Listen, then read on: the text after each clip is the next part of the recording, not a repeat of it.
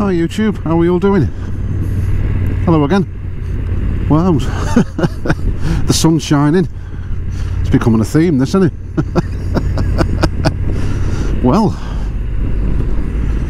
I've been playing about with the settings on this camera,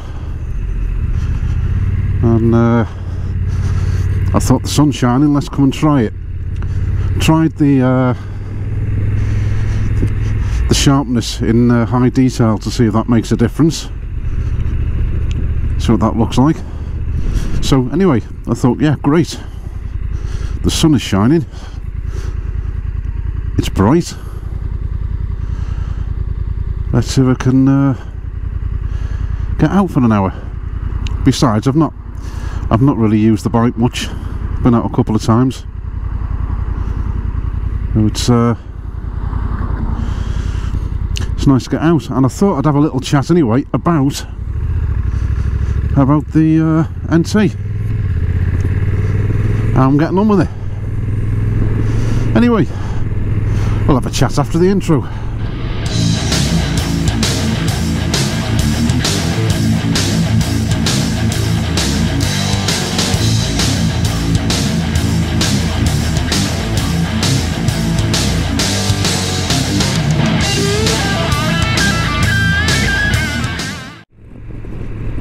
So folks, hello, how are we all doing? Uh, the sun's shining so I thought, you know what, let's let's get out and have a little uh, ride. Uh, what time are we on now? We're quarter to four uh, on a Thursday evening, got Good Friday tomorrow. Thought I'd finish work, let's get out for an hour. Just as I said that, the sun's gone beyond that dirty big cloud over there. It's still bright though. So anyway um, I've been happy with the GoPro. And I think uh, a lot of you folks out there saying that the you know the, the, the quality is better. And you're happy with it? Must admit I have been really impressed with it to be fair. Um, I've had a few questions about the NT. I've had a couple of questions about the sat nav. Uh, so I thought, well, what I'll do, I'll do a little video. I'll tell you about uh, what I'm using because I'm getting also I'm getting a few questions on what's going on. So anyway, yeah. First of all, I've had a couple of questions on my sat nav. A few people ask me what sat nav to use, um, how you powering it, that type of thing. So SatNav itself uh, is a, a, Garmin Zumo XT. So, uh, allegedly one of their flagship uh, SatNavs.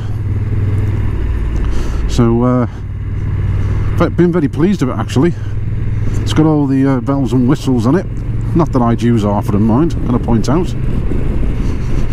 So, um, but yeah, it's, it's, it's, it's a blooming good little system. Um, now, what I have noticed on the, the Zumo XT is when I use the GPX files, evening sir, well, here's an old Deauville. Uh, it works really well with Ray's um, TomTom, he's got a TomTom rider.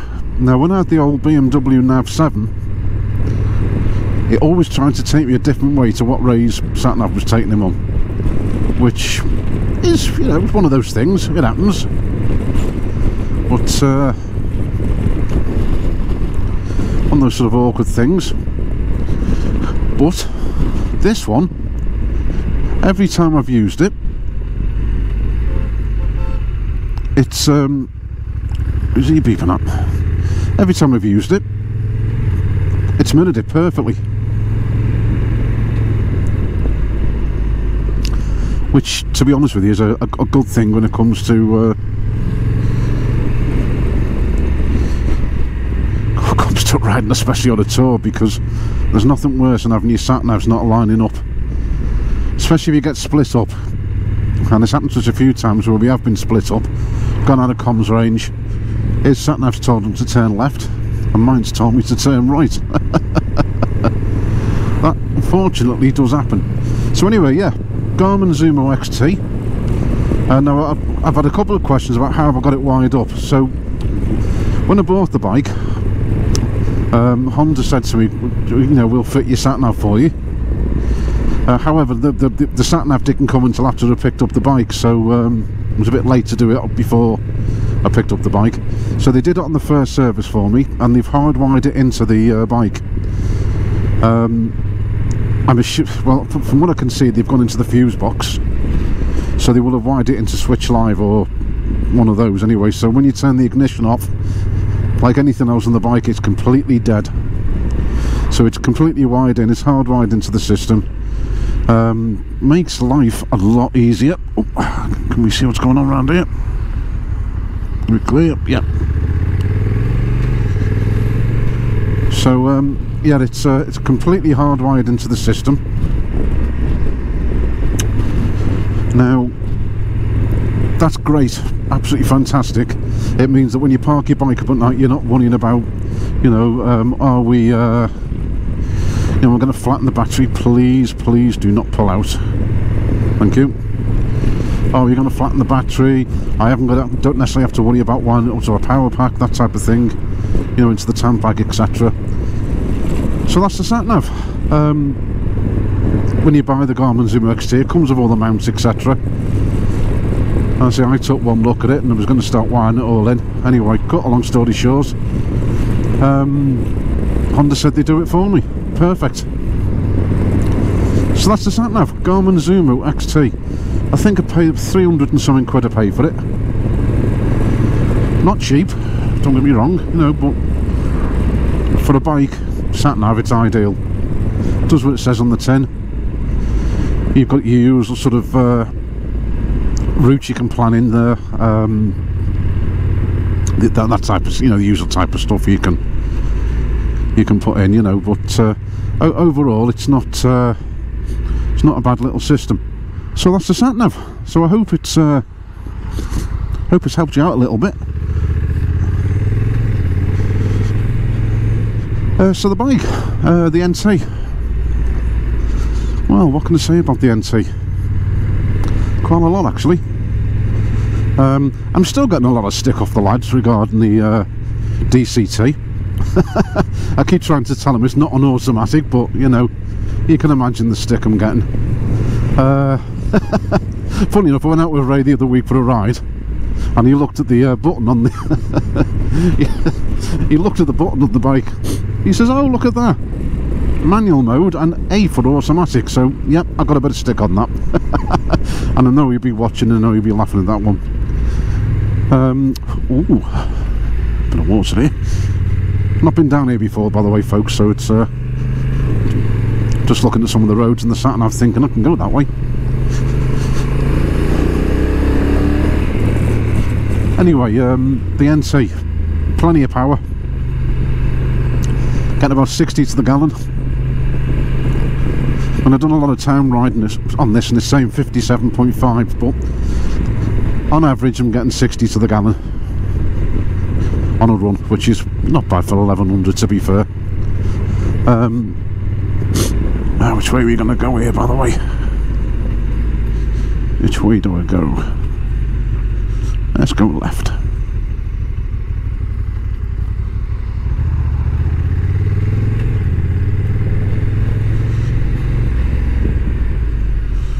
Go up here. I don't know what the hell's up here like, but we'll go up here anyway. Well, that looks nice, whatever that is. The Wheatsheaf.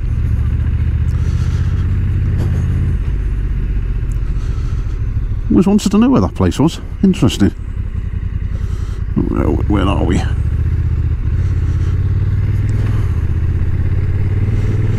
Yeah, anyway, sorry I digressed. So yeah, uh, plenty of power in the NT, the 1100 plenty of plenty of power. Uh, 60 to the gallon. The tyres I've got at the moment to what was uh, on when I bought the bike when I got it brand new. They're the uh, Dunlop uh, Road Smarts 5s I think they're 4 or 5s I think they are not a bad tyre um, not as good as my Pilot Roads I'll be honest with you don't think they were as good as the Pilot Roads anyway but um, they've not been bad uh, but other than that, it's fine. Um, I've had a, quite a few people ask me about the screen, Uh, the storage, it's been pretty good to be fair. You know, there's uh, the screen itself is great, gives you a fair, fair amount of protection. I've got it set currently at uh, one one position from top, so it will go up a bit further. I just like to look over the screen a little bit, you know. Uh, so there's that. Uh, these little wind deflector things down here, they're pretty good to be fair. They do sort of give you, you know, that, that extra little bit of uh, protection, especially in the winter. Seating wise, comfy as hell. You know, I'm, I'm not joking, it is so comfy. So comfort wise, it's great for the tourer. Absolutely fantastic. Uh, power wise, brilliant. Mirrors, mirrors are brilliant. Um, what can I say? I can see out the back of them. There's not much to say on mirrors really. They do the job, and they're pretty good to be fair. The luggage isn't as good as the um, oh, open this a minute. Isn't as good as the as the the RT was. Now, let's say the, the boxes are a little bit smaller. The top boxes are a similar size. It's 50 odd litre. I think the RT was a 55 litre or 60 litre box, so it's, it's it's give or take. You can get a similar amount in there, but the panniers, in fairness, folks, are a little bit smaller. In saying that, I still managed to get a week's worth of gear in without using my Lomo bag, so you know, there's that was a bonus. But overall, um, the, the panniers are just a tad smaller. And it's a shame really. I think Honda have missed a trick there. They should have just made that a little bit bigger. Um, the other thing that I, I love the bike the other thing Honda have missed a trick on is the chain drive. Why they didn't put a shaft drive in this I do not know. Um, you know all their tours you know if you think back the the, the, the Pan Euro, the ST 1100 and the ST 1300 uh, the Deauville when they had the 650 and the 700 out. Um, you know the Goldwing they were all shaft drive. And the, you know the Goldwing itself I mean what can say it's just a, an amazing bike. Not everybody's taste not everyone's cup of tea don't get me wrong. Uh, but it's still a beautiful bike. Um, so why they didn't put a shaft drive in this I do not know uh, that would have really been you know would have, would have been ideal really considering the bike has been sold as a tourer. But I think what they've done is they've they've decided to uh, you know develop a new bike using technology on a bike they've already got because this is heavily based on the Africa Twin. You know it's um, oh, it basically is the you know it, it, it basically is the Africa Twin. Um, with a comfier seat, a bit more plastic around it. Other than that, it's the same bike. So um, they've cut corners a little bit to try, to try and save a bit of money and uh, you know just make make it easier to get the, the bike out, I suppose. But other than that, it is a fantastic bike. It's just a shame it hasn't got a shaft drive. It would have made a little bit sense, especially now they spent all that extra money on the DCT you know, uh, and the technology behind the DCT because it is an amazing system. It really is an amazing system. I'm quite impressed of it to be fair. But other than that, the NT is a, one hell of a bike. You know, it's uh, a lot of people like it. Some people love it. You know, there's an old saying: you cannot please. You know, you can't please everybody. Um, you know, it's a shame really. But, uh, you know, it'll sell well. I think it'll definitely sell well as a bike.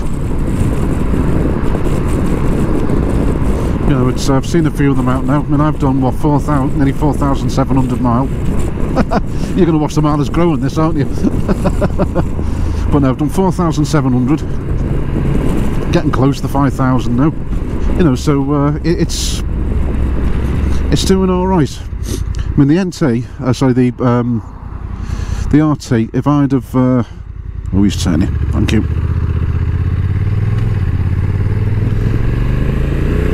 The RT would have been, a, you know, more reliable. I'd have kept it. I think I'd still be riding the RT today. Um, it's a shame because it was an absolute lovely bike when it worked. when it failed on you, that was the problem I had with it. So yeah, uh, in saying that, I mean, I did have an issue with this. I'll, in fact, I'll talk about that actually because I've had a few people ask me how it's running now. So yeah, anyway, the, N, the, the NT when I first got it, it worked great up to its first service, up to about a thousand mile, absolutely spot on. Then um, started to develop some starting issues. Great when it was cold. The minute the engine warmed up, wouldn't start. Take about four or five goes to start it. And if you actually look at our Luxembourg tour, you'll see all the issues I had. Anyway, went back in for its recall, and we were kind of hoping there was a. When we were away on holiday, we got a letter through to say there'd been a recall over engine stalling, and it was affecting the DCT. So I thought, great, there's the issue. Took it in, and I know a few other people have got the NTs. Um, they had a similar problem. Fine. Anyway, anyway, I had the, the work done on it. A couple of weeks later, did it again. So it went back in, said, look, it's still doing it.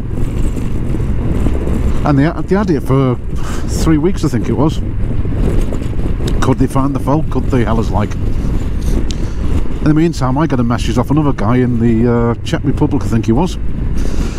Excuse me, sorry. Uh, had the Africa Twin, brand new Africa Twin, exactly the same fault.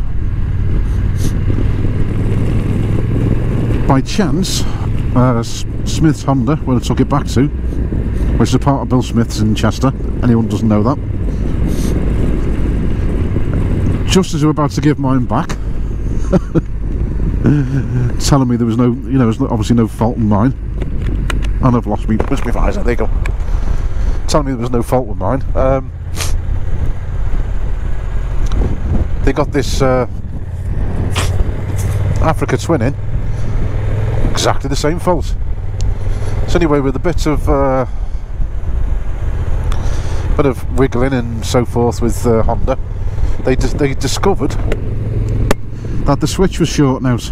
Now whether it was water ingress, I don't know. Uh, bad contacts, whatever. Anyway, they decided to change the whole of this uh, this switch cluster. Obviously, from my point of view, you can't really tell the difference. But when I first picked up the bike after the work was done, there was a slight discoloration. You could slightly tell it was um, a new model, but I mean, to be, I can't really notice now. It's been washed a couple of times. So yeah, um, that was the, that was that. That was that worked. But yeah, it was interesting.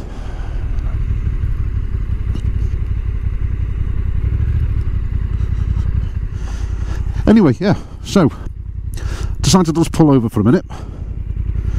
There she is. The NT. So she is, she's running absolutely lovely. Sounds lovely. Uh, be on neutral.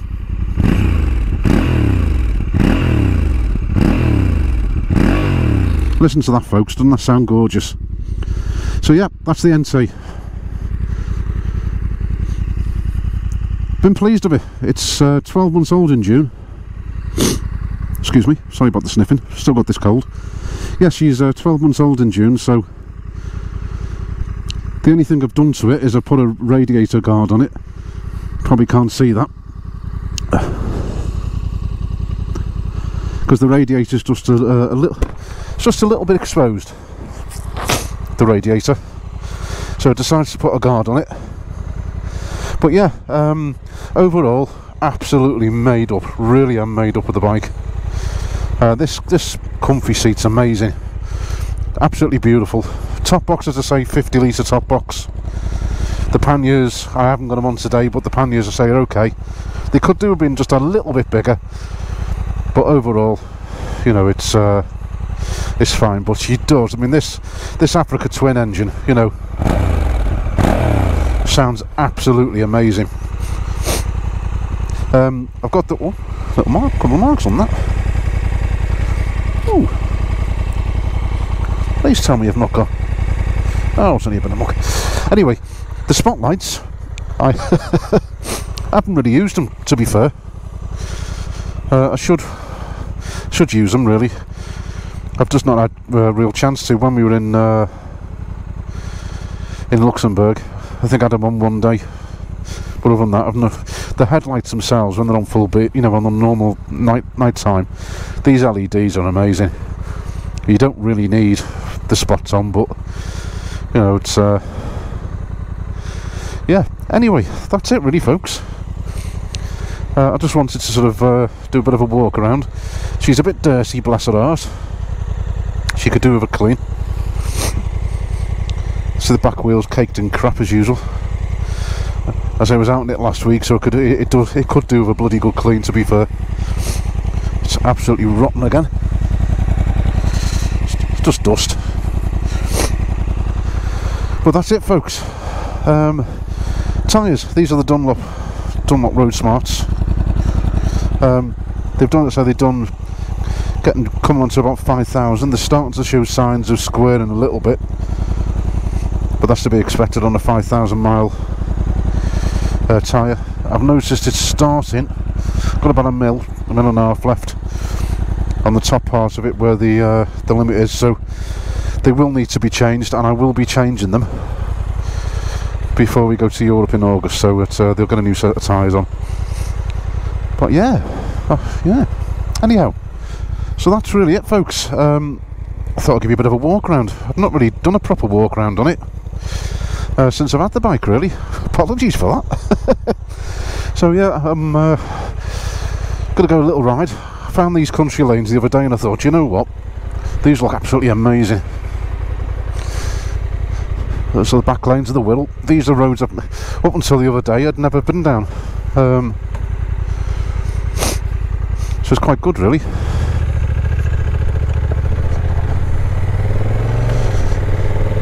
Uh, and I thought, why not, eh? Sun's shining, why not get out? And have a little nose. Also have a play with the camera again, as I normally do, just to try and get used to it. But I just love these country lanes, you know, it's, uh, you poodle on 25, 30, see all the scenery. Maybe I know you can't see much because of the hedges, but uh, over to our left you've got uh, North Wales. But this is, uh, I think this is Little Ness, I think it's called. Beautiful place, lovely.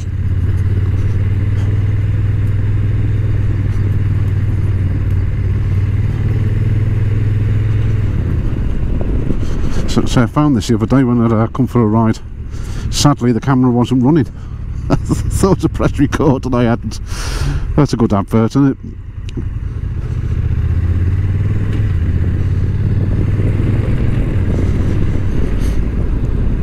It's a lovely area though, beautiful area. So lucky actually, I've got some nice little villages right on my doorstep, it's great.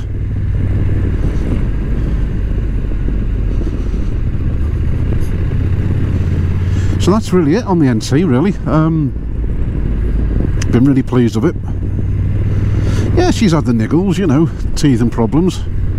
But don't all bikes, you know, it's uh, every bike has its teeth and problems, doesn't it, you know. It's um it's just a shame really. But yeah, it's it's run absolutely blooming brilliant. I said they just the, the only issue I really had was the um the starting issue when we were in uh, Luxembourg. But other than that, spot on. The other thing I like about this is you can do um, on this you can do exactly the same as you can do on the uh, on the Africa Twin. Stand straight up and have a look what you, where you're going. Absolutely brilliant. If you need to, you can stand up, have a good look round. So it's it's got the feel of a feel of the adventure bike, but um, the comfort of a tourer. Not that I'm an adventure rider by any means. You know, I don't even like gravel, so I'll be no good at any of the adventure stuff. but look at there, folks. I found this the other day. Isn't that absolutely blooming gorgeous? What a lovely view. See, this is the River Dee. Uh, we're looking on the on the Wirral, Dee side of the Wirral Peninsula, looking out into North Wales this all obviously all was river at one point but over the years it's silted up you know. A lot of marshland here now but that there, folks that's amazing isn't it? Absolutely blooming amazing.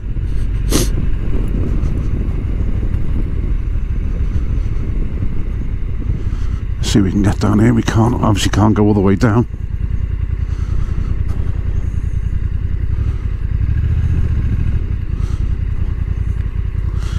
that looks beautiful doesn't it absolutely beautiful anyway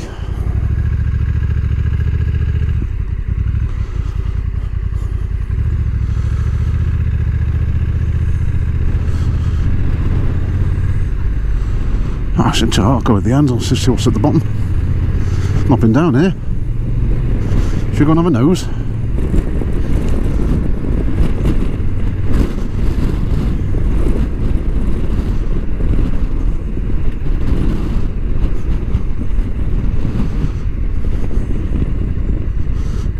Down there, eh?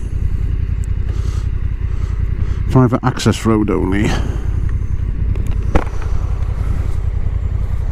folks look at that.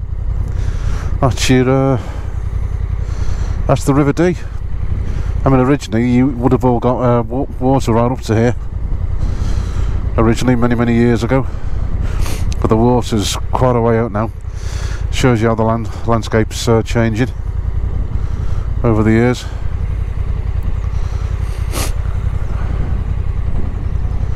yeah it's uh, strange really. Anyhow let's go and see what else we can find.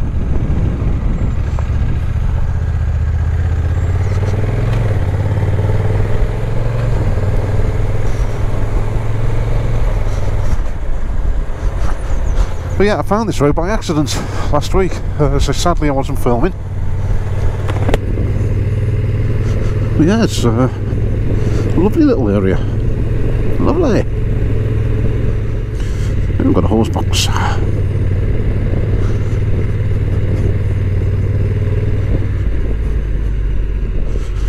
You're going to do well to get him in there, pal.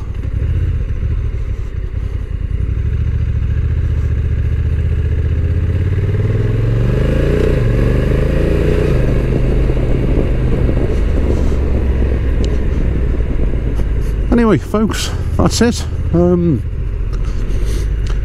short and sweet short and sweet episode today. Nothing fancy.